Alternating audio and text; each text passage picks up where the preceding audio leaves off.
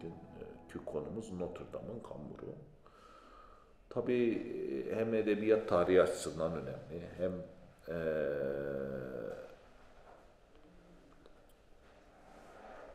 sinema tarihi açısından önemli. Mesela birkaç kere e, uyarlanmış değil mi? E, Anthony Quinn oynadı, Anthony Hopkins oynadı. E, Notre Dame'ın kamburunu e, oynamak açıkçası kolay bir işte değil. Böyle belli kült roller vardır arkadaşlar. Yani e, bir Hamlet oynamak, değil mi? E, Otello'yu oynamak, e, işte Richard'ı oynamak. Hani bunlar artık oyunculuk sınırlarını e, zorlayan e, performanslar gerektirir. E, çok yüksek seviyede yetenek gerektirir. Mesela e, Mel Gibson Hamlet'i oynamıştı. E, izleme fırsatınız oldu mu bilmiyorum. Mel Gibson'ın oynadığı Hamlet. Gerçekten e, çok e, başarılı bir performans. Zaten aslında bence Mel Gibson'ın kariyerinde çok önemli kilometre taşlarından biridir o Hamlet oyunu. E, Notre Dame'ın kamburu da böyle, böyle bir e, roldür. Şimdi tabii e, toplumların e, ruhunu taşıyan e, yazarlar vardır. Belli çağların ruhlarını taşıyan. Bu anlamda roman e, roman yazarları e, aynı zamanda bir ulusun ruhunu da taşırlar. Çünkü romancı neyi işler? Hani dün konuştuk. Her sanat dalı e, bir nesneyi işler. E, romancı öykünün yanı sıra dili işler. Bu yüzden e, özellikle çeviri eserler kendilerinden çok şey kaybederler. Şimdi dediğim gibi mesela günümüzdeki Türk romancılarına örnek verebilir misiniz? Evet. Yaşayan hiç kuşkusuz yaşayan, hiç kuşkusuz Orhan Pamuk değil mi? Ee, İhsan Uktayanar ee, ve hiç kuşku Ahmet Ümit değil mi? Ee, bunlar e, bir ulusa hikayeler veren insanlardır. Şimdi bu hikayeler neye yarar? Ee, bir ulus bu hikayelerdeki meselelere dair düşündükçe, konuştukça ve birbiriyle diyalog kurdukça, bu meseleleri tartıştıkça bir ulus haline gelir. Anlatabiliyor muyum? Ee, mesela Rus romanı zaten son derece e, etkili. Dünya edebiyatında son derece etkili. Bugün Dostoyevski'nin, Gogol'ün, e, Tolstoy'un e, ele aldığı meseleler hakkında e, Rus halkı düşündükçe, birlikte tartıştıkça ancak ortak bir e, bilinç, ortak bir bellek geliştirebilir. Bu ortak hikayelerin ol, mevcut olmadığı koşullarda e, bir toplum ortaya çıkmaz. Toplumlar efsanelerle e, oluşur. E, bunlar daha önceki yüzyıllarda işte Gılgamış efsanesiydi. Öyle değil mi? E, Troy seferiydi. Öyle değil mi? E, işte Davut'un Golyat'ı yenmesinin hikayesiydi. Öyle değil mi? Yusuf'un hikayesiydi. Yusuf, e, Yusuf peygamberin hikayesi, Yunus peygamberin hikayesiydi. Öyle değil mi? E, ve toplum bu olaylar hakkında düşündükçe, tartıştıkça insan da o toplumun bir parçası haline gelir. Birey de o ortak hikayelere dahil oldukça o toplumun parçası haline gelir. Tabi Fransız edebiyatında da Emile Zola, e, Victor Hugo, e, Stendhal bunlar e, başlıca edebiyatçılardır. Bunlar bir o toplumun ruhuna, yönelimlerine e, ses vermişlerdir aynı zamanda. E, işte nedir? Parma Manastırı'nın Fabrizio'su, e, işte kırmızı ve e, siyahın Julien'i e, ve işte Victor Hugo'nun Notre Dame'ın Quasimodo'su e, bir toplumun çağa dair hem bakışını hem de geleceğe yönelimini belirler. Şimdi bu, bu eserlerde karşımıza e, şununla karşı karşıya kalırız. E, bir defa artık toplum e, Katolik Kilisesi'nin belirleyiciliğinden artık bıkmıştır, usanmıştır. Buradaki din adamı figürlerini gördüğünüzde artık toplum onların belirleyiciliği altında ne yapmaktadır? Yaşamak istememektedir. Öyle değil mi? İşte eee Julien'in başına gelen kırmızı ve siyahtaki e, olumsuzlukların müsebbibi hep nedir? Katolik din adamlarıdır. E, Notre Dame'ın kamburunda da Dom Frallo ile karşı karşıya kalırız. E, nedir? Quasimodo'nun evlat edinmiştir.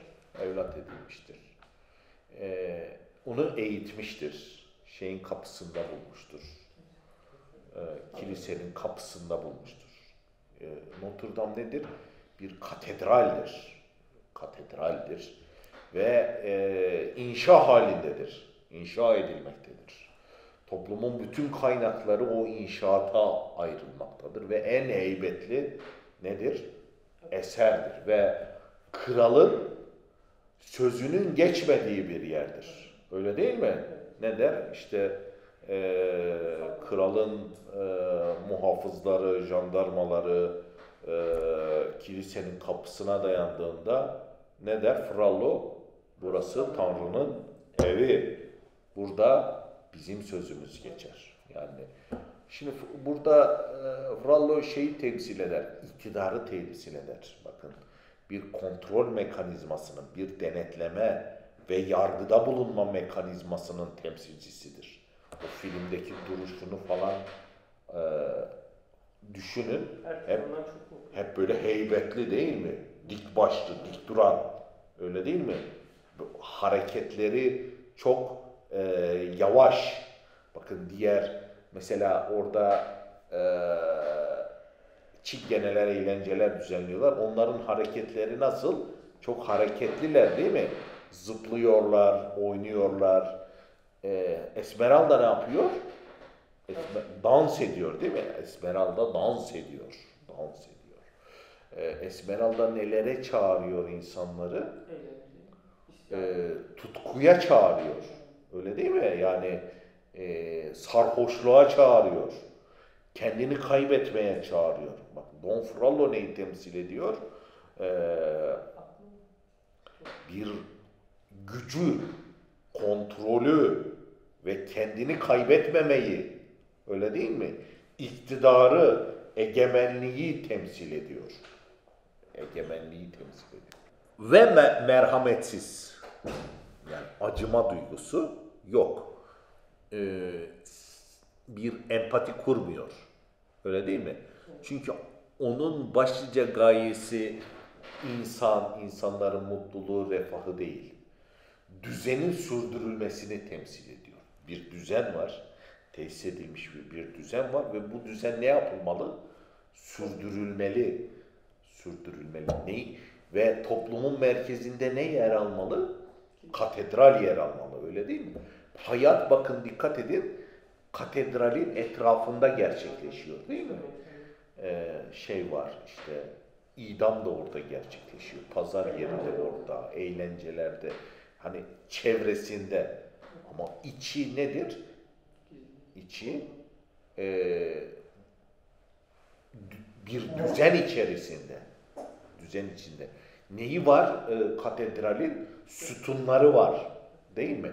Her şey gelip geçici ama katedral nedir? Kalıcı. Kalıcılığı temsil ediyor. Ve e, katılığı temsil ediyor. Bakın sinemada önemlidir. Katılık ve sıvılık. sıvılık. İnsanlar katı olandan sıvı olana geçerler. Burada Esmeralda neyi temsil ediyor? Sıvı olanı temsil ediyor. Yani e, dişiliği temsil ediyor. Dişiliği temsil ediyor. Her zaman bakın e, sinemada e, mesela Jaws Jaws neyi temsil ediyor? Jaws nerede? Denizde yani belirsizliği temsil ediyor öyle değil mi? Belirli değil. Bir belirsizlik var. Ama mesela tekne nedir? Belirli. Öyle değil mi? Hani yapısı belli, görüyoruz. Neyi ne kadar yapacağı belli, belirli. Karalar, karalar, sert zeminler her zaman nedir? Belirliliği temsil eder. Ee, korku filmlerinde de e, belirsizlik her zaman neye yol açar? Korkuya yol açar.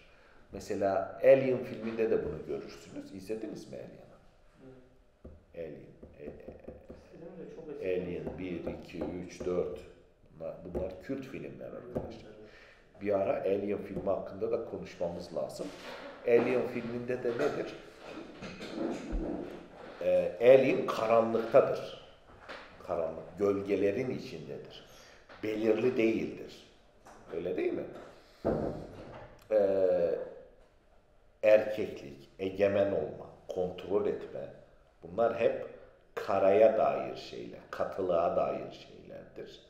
Ee, belirsizlik, e, müphemlik, hep e, tam biçim almamış. Sıvının özelliği nedir? Tam böyle bi- biçimlenmemiştir. Şekil değiştirebilir hızla. Öyle değil mi? Ee, Bu e, bu önemlidir. Bu iki karşıtlık önemlidir. Neyse, e, Don, Frallo iktidarı temsil ediyor. Her şeyin bir nizam içinde olduğu, bir nizam içinde olduğu, her şeyin düzenli olduğu ve din adamları tarafından her şeyin sürekli olarak kontrol edildiği bir sistemi temsil ediyor. Bazen e, Frallo ne yapıyor? Kendi e, kontrol edemediği duygularını ne yapmaya çalışıyor sürekli? Baskı- Baskılamaya, kontrol altında tutmaya çalışıyor. E, ki belirsizlikten kurtulabilsin. Ve Esmeralda'nın varlığı, Esmeralda'nın varlığı onun için bir nedir? Bir tehlike. Tehlike unsuru. Tabii e, e- eserimizin asıl kahramanı olan Quasimodo'dan bahsetmemiz lazım değil mi? Şimdi Quasimodo nedir? Bir zangoç. E, ama dil biliyor. Değil mi? Sanguç mu hocam? Zangoç. Ee, dil biliyor en önemlisi. Yani dil, ke- felsefe kitapları okuyor. Öyle değil mi? Bilim kitapları okuyor. Kütüphane yani e, çok e, zeki bir zeki biri değil mi? Ona ne diyecekler? Yani sen hani felsefe kitabı yazan, bu kadar okumuş bir adamsın. Hani bu çingene kız için, tırnak içinde, bu, bu kız için, bu her şeyi niye riske atıyorsun? Ve eee, seni evlat edinen kişiyle niçin karşı karşıya geliyorsun? Değil mi? Hani bu, bu sen hani evet sen son derece çirkinsin. Kamburun var. Hani formu ne olmamış? Tamamlanmamış. Öyle değil mi? Bir forma oturmamış. Formu da bozukluklar var. Bir tamamlanmamışlık var. Ee, evet ama buna rağmen sen bu e, tırnak için çingene kızdan üstünsün. Neden? Çünkü iktidarın egemenliği altındasın, şemsiyesi altındasın. Niye bundan bunu riske atıyorsun? Niye düzenini bozuyorsun? Öyle değil mi? Soru bu. Peki Quasimodo ne diyor? O diyor ki Ama diyor o bana su verdi diyor. Su. Şimdi bu neyi ifade ediyor? O bana su verdi. Şimdi bir toplumun toplum olabilmesi için elbette ki iktidara ihtiyacımız var. Bir düzene ihtiyacımız var. Yalnız e, belki onun kadar, belki ondan da daha fazla neye ihtiyacımız var? Merhamete ihtiyacımız var. Merhamete ihtiyacımız var. O diyor, bana merhamet gösterdi. Merhamet gösterdi. Bana acıdı. Bana sevgi gösterdi. Sevgi. Bakın hani e, böyle Quasimodo şeyi biliyor. Yani hani Esmeralda ile bir böyle bir aşk ilişkisi hani böyle böyle bir şeyin olmayacağını biliyor. Hani belki böyle bir duygusu var. Belki böyle bir duygusu var ama yani bu duygu o kadar olanaksız bir şey ki artık üzerinde düşünülmüyor bile. Anlatabiliyor muyum? Ama burada hani e, güdüyü sağlayan yani o kurtarma girişimini sağlayan başlıca olgu o e, cinsel arzu değil. Öyle mi? Bu o bir sevgi. Çünkü bizi artık e, kilise yani büyük harflerle kilise merhametini kaybetmiştir. Halbuki e, İsa peygamberi başlıca e, cemaatine e, buyruğu nedir? Birbirinizi sevin. Öyle değil mi? Birbirinizi sevin. Hazreti İsa için bir toplum ancak kişilerin birbirini sevmesiyle kurulur. Toplum. Şimdi böyle bir toplum kurulamaz. Anlatabiliyor muyum? Yani Hazreti İsa kral olsaydı Süleyman peygamber gibi muhtemelen o devlet çok fazla uzun süre ayakta kalamazdı. Çünkü hani e, bir toplumun teşekkül edebilmesi için hiç kuşkusuz güce, gücün kullanımına, iktidara ihtiyaç vardır. Çünkü düzen bu gücün kullanımıyla teşekkül eder. Ee, şimdi mesela İsa'nın öğretisine göre birbirini seven Hristiyanlardan oluşan bir komün kurulabilir. Yani bir küçük topluluk kurulabilir. Ama toplum teşekkül edemez. Ancak bunun yani sadece bu buyruğa, sadece ve sadece bu buyruğa uyularak toplumun teşekkül edememesi bizim bu buyruğu dikkate almayacağımız anlamına gelmez. Yani şunu söylemek istiyorum. Ee, insanların toplumun teşekkül edebilmesi için insanların kendilerinin bir top, o topluma ait olduklarını hissedebilmeleri gerekir. Ve bu hissiyat öncelikli olarak e, o topluma ait olmaktan mutlu olmamız ve o toplumu toplum yapan nitelikleri sevmemiz sayesinde mümkündür. İnsan bir topluma ait olduğu zaman neleri sever? Hiç kuşkusuz o toplum, milliyetçiliğin oluşturan, e, milliyetçiliğin teşekkül etmesini sağlayan başlıca unsurlar nelerdir? O toplumun dilini sevmek. Değil mi? E, bu yüzden mesela milliyetçilikle dil sevgisi arasında çok ciddi bir korelasyon vardır. Ya biz mesela Avrupa'da neye tanıklık tanıklık ederiz? Milliyetçi akımlar geliştikçe artık Avrupa'daki entelektüeller evrensel bir dil olarak kabul ettikleri Latince'de değil, kendi uluslarının dilinde yazı yazmaya başlarlar. Bu önemli bir kopuştur. bir toplumunuzun kültürünü seversiniz. Belli alışkanlıklarını seversiniz. Davranış kalıplarını seversiniz. Ve kendinizi o topluma ne hisseder? Ait hissetmeye de başlarsınız. Mizahını seversiniz. Öyle değil mi? Her toplumun mizahı birbirinden farklıdır değil mi? Bizim de e, bir Türk mizahı dediğimiz bir şey söz konusu mudur? Söz konusudur değil mi? Yani hatta e, bu e, Türkleri diğer tüm toplumlarından ayırt edecek ölçüdedir. Öyle değil mi? Ee, ya da öyle mi bilmiyorum. Ee, hiç kuşkusuz İngilizlerin güldükleri şeylerle, Almanların güldükleri şeylerle, Türklerin güldükleri şeyler birbirinin aynısı e, değildir. Demek ki bir topluma ait olmak, aynı şeylerden, e, aynı esprilerden kahkahalara kapılmayı da gerektirecek e, seviyededir. Öyle değil mi? Evet. Ne diyorduk? Sevgiden bahsediyorduk. Ee, şimdi İsa e, birbirinizi sevin derken birbiriyle yüz yüze iletişimde bulunan insanların birbirini sevmesinden bahseder.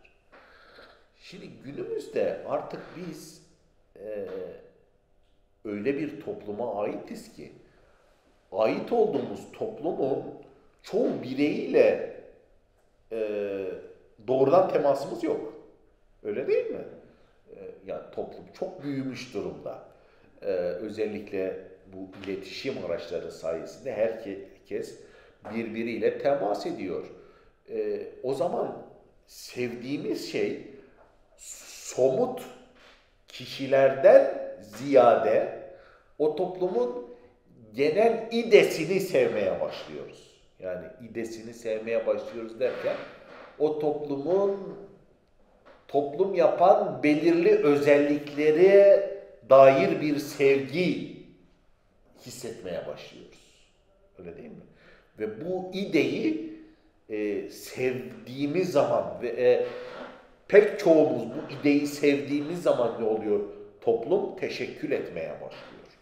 Aksi halde e, bizler kendimizi bir topluma ne, ne ait e, hissedemeyiz. Şimdi burada politik anlamda artık e, insanları bir arada tutmak için sadece güç, gücün yeterli olmadığını hissetmeye başlarız.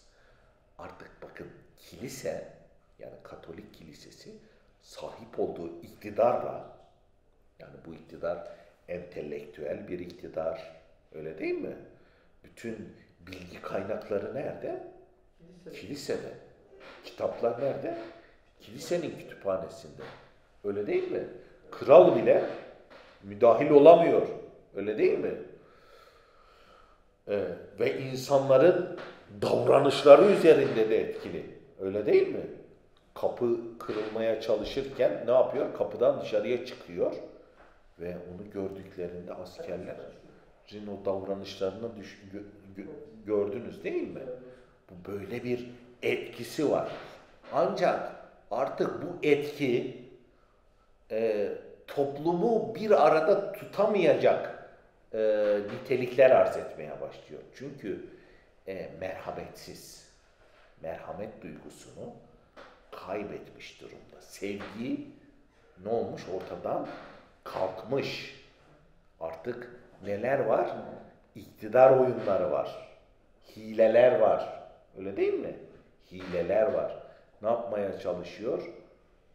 Don Frello Esmeralda'yı kaçırtmaya çalışıyor değil mi?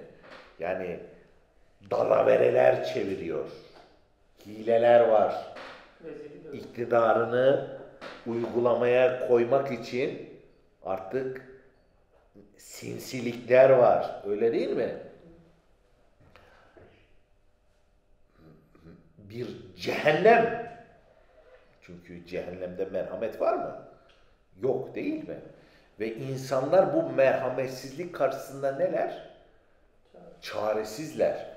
E, ve artık kilise kendi üyesini bile etkileyemiyor. Quasimodo ne yapıyor? O kilisenin iradesinin dışında bir atılımda bulunuyor. Her şeyini riske atıyor. Ne için? Ne için? Sadece ve sadece merhamet için. Çünkü o bana ne ne verdi? Merhamet verdi. O bana su verdi. O bana acıdı. O bana sevgi verdi. Sevgiyle yaklaştı. Ee, ne diyor? Ee, o kırbaçlandığında Quasimodo su verin diyor değil mi? Toplumdan o bir bütün toplumun bir araya geldiği bir sahne. Ne yapılacak? Bir saat boyunca kırbaçlanacak, orada sergilenecek. Öyle değil mi? Kum saati dökülmeye başlandı. Ve toplumda ne dileniyor? Merhamet dileniyor. Merhamet gösterin. Çünkü ne olur? Kırbaçlandığınız zaman kan kaybedersiniz. Ve insan kan kaybettikçe ne? Susar. Susar. Ee, çünkü e, o kaybettiği kanı ikame edebilmesi lazım vesaire. Susuzluğu artar kayıp kaybeden insan. Ve su dileniyor. Bana diyor su verin ve bakın hiç kimse o varlığa, o çirkinliğe yaklaşmak bile istemiyor. Öyle değil mi? Yaklaşmak bile istemiyor. Halbuki kilisenin çanını o çalıyor. Öyle değil mi? Hatta kulakları duyma yetisini son derece zayıflamış durumda. E, Onlar sırf e, kilisenin sesini, o kilisenin sesi neyi temsil ediyor? O kilise, orada olduğunu temsil ediyor kilisenin. O iktidarının daim olduğunu temsil ediyor. Kilise buradayım diyor. Öyle değil mi? Şeydir. İşte kimi dinlerde e, boru öttürülür, boynuz öttürülür. Kimi dinlerde çan çalınır. İşte İslam'da ezan okunur. Öyle değil mi? Yani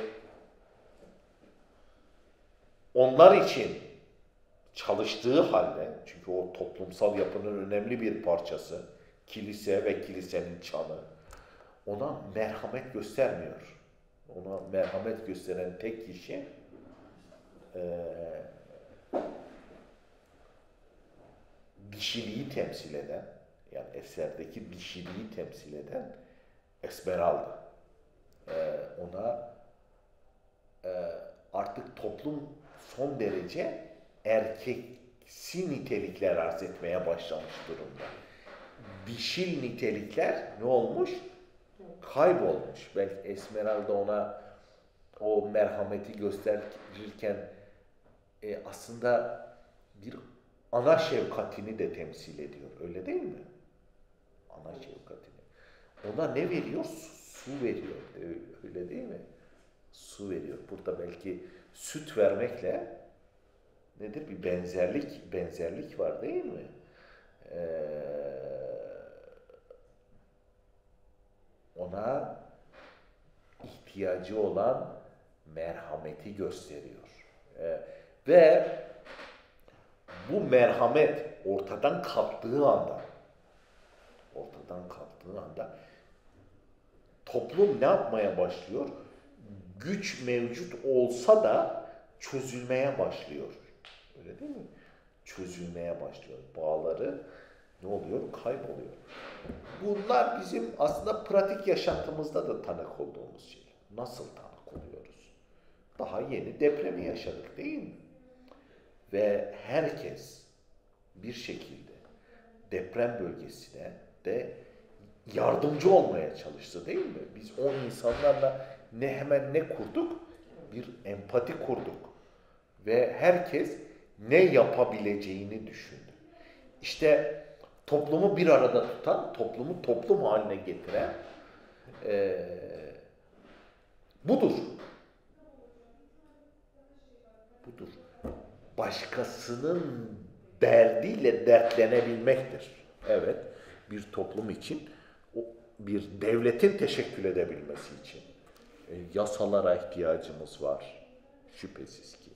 Yargıya ihtiyacımız var, orduya ihtiyacımız var, parlamentoya ihtiyacımız var. Bunlara ihtiyacımız var. Yalnız toplum olabilmek için bundan daha fazlasına ihtiyacımız var. Birbirimize sevgi göstermeye, empatiyle bakmaya. Öyle değil mi? Bizim olmayan dertlere ortak olmaya. Değil mi? Ortak sevinçlere, ortak coşkulara ihtiyacımız var. Toplum ancak bu şekilde teşekkül ediyor. Ee, ve biz ancak e, toplumla bunlar vasıtasıyla iletişime geçebiliyoruz. Ee, kendimizi o toplumun bir parçası hissedebiliyoruz. Öyle değil mi? Ee, gördüğünüz gibi yani hikaye aslında yani o kaba taslağın ötesinde şeyler bize anlatıyor. Ve yankısı günümüze kadar ulaşıyor. Öyle değil mi? Şimdi mesela Yeni Zelanda gibi ülkeler var. Bunlar toplama ülkeler. Ee, var mı yurt dışında akrabası olan? Yeni Zelanda'da bayağı da Türk varmış. Dünyanın öbür ucu. Hakikaten. Şimdi dünya haritası sizi yanıltmasın. Dünya haritasında Yeni Zelanda Avustralya'ya çok yakın durur. Yani aslında çok uzaktır yani. yani o haritayı e, açmak açtığınız zaman hani o, o şekilde görünür ama çok uzaktır yani. Ha, hakikaten dünyanın öbür ucu. Çok güzel bir coğrafyası var bu arada. Ee, ilginç. Yani dünyada böyle e, orijinal ülkeler vardır. Ada ülkeleri. Mesela İngiltere, Japonya. Anlatabiliyor muyum? Bunlar ilginç kültürlerdir. İncelemeye değer. E, ve insanlık tarihinde de son derece etkili olmuş ülkelerdir. Bu adada olmanın e, tabii e, büyük adalarda olmanın, büyük toplumları adalarda e, kurmanın bir e, ilginç neticeleri e, olabiliyor. Bunu e, daha sonra bunun üzerinde konuşabiliriz. Yeni Zelanda'da bir herkesin e, bir yerden geldiği ama hiçbir zaman kendisini bir Yeni Zelandalı olarak tasavvur etmediği, edemediği, orada bir durakta olduğu, hani otobüs durağı gibi. Hani otobüs durağında da insanlar bir aradadır ama herkes ne yapmaya çalışır? Başka bir yere gitmeye çalışır değil mi? Evet. Hani o, o otobüs durağındaki birliktelik bir toplumsal birliktelik değildir yani. Öyle değil mi? Ya da mesela Kanarya Sevenler Derneği'ndeki birliktelik gibi değildir. Yani onları bir şeyi sevmek bir arada tutmaz. Herkes oradan bir başka bir yere gitmeyi arzu etmektedir. Ee, işte bu toplu bu ülke vardır, yasaları vardır, devlet vardır. Yeni Zelanda gibi ülkelerde ama toplum yoktur. Hani yurttaşlar vardır. Yani devletle arasındaki hukuku hukuki bir ilişki olan insanlar vardır. Ancak toplum yoktur. Toplum neden yoktur? Ee, çünkü duygudaşlık mevcut değildir. Duygudaşlık, e, birlikte üzülme, birlikte sevinme. E, hala e, bu toplumlar işte biliyorsunuz Çanakkale'ye Yeni Zelanda ve Avustralya'dan e, askerler geldi. Hala o kaybettikleri askerlerin üzüntüsüyle bir arada durmaya çalışıyorlar. Öyle değil mi? Ee, hani çünkü e, ortak bir bellek yok. Tek bellek işte zamanında evlatlarını Çanakkale'ye göndermiş olmaları. Ee, onun dışında e, bir e, toplumu toplum yapacak e, diğer dinamikler e, mevcut değil. İşte bu biz bu eserde de artık şey görürüz. Notre Dame'ın kamburunda. Roman bu arada tam bir şaheserdir. Paris'in o zamanki Paris'in müthiş e, tasvirlerini bize sunar. Yani sinemada bunları göremezsiniz. Müthiş tasvirlerini sunar. E, ancak artık bir çağın kapanıp yeni bir çağın başladığını, artık geçmiş değerlerin toplumu bir arada tutacak değerler olmamaya başladığı zamanlara tanık